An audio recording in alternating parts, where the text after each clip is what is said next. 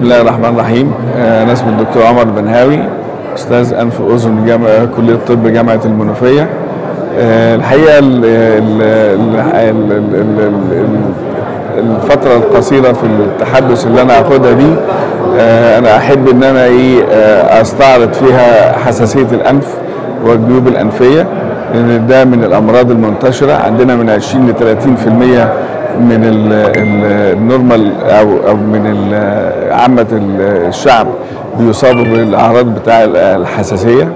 الأعراض الحساسية بيشمل بقى المثلث اللي إحنا دايما نقوله العطس والرشح والحكة في الأنف وإن لم يتم السيطرة على هذا المرض بيبدأ يحصل منه مضاعفات على الصدر ويحصل منه مضاعفات على الجيوب الأنفية وأشهرها التهابات الجيوب الأنفية. ال- ال- ال- ال-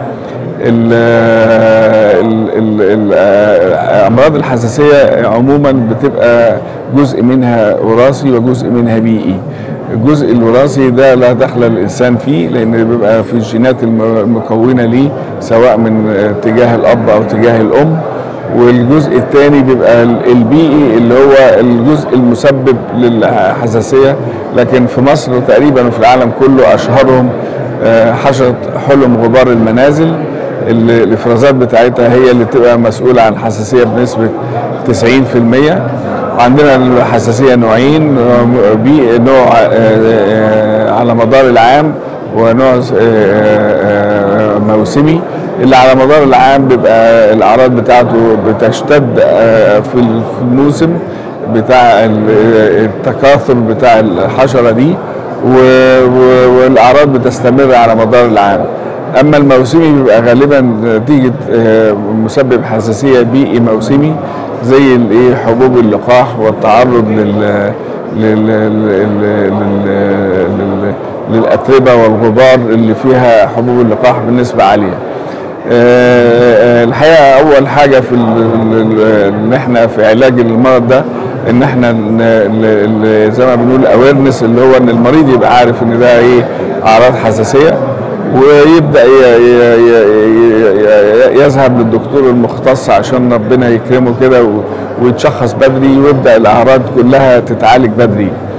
آه، التأخر في الأعراض بتاع الحساسية ده بيبقى بعد كده المريض بيجي بمضاعفات معاها والحقيقة بيبقى نعالج الحساسية ومضاعفاتها بعض الأحيان بياخد وقت وبعض الأحيان بيكلف المريض كتير سواء في وقته أو في في صحته. آه، علاجها بيبقى أول حاجة اللي هو ال- الوقاية.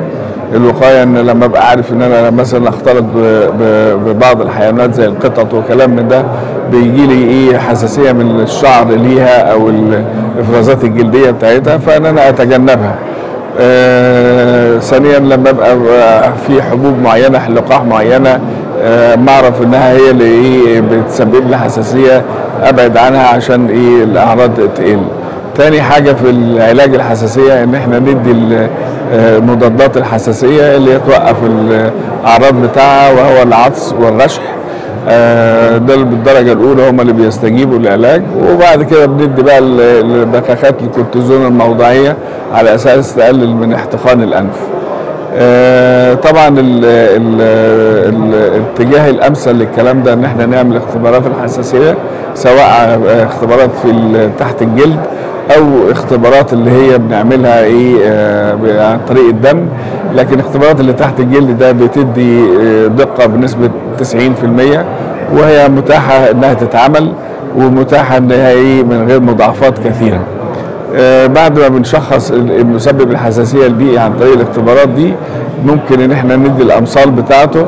لكن من خبرتي أنا إن ال- الأمصال دي اللي بتبقى جاية من بره بتبقى متحضرة بره فبالتالي ما بتفيدش المريض قوي لأن الإيه النوع ال- المسبب الحساسية اللي موجود في البيئة المصرية غير المسبب الحساسية اللي موجود في البيئة الأوروبية والأمريكية. آه، لكن العلاج اللي إحنا متبعينه الأحسن والأمثل هو علاج الإيه إن إحنا ندي مضادات الحساسية وبخاخة الأنف للتحكم في الأعراض بتاعتها. وأشكركم وإلى لقاء آخر.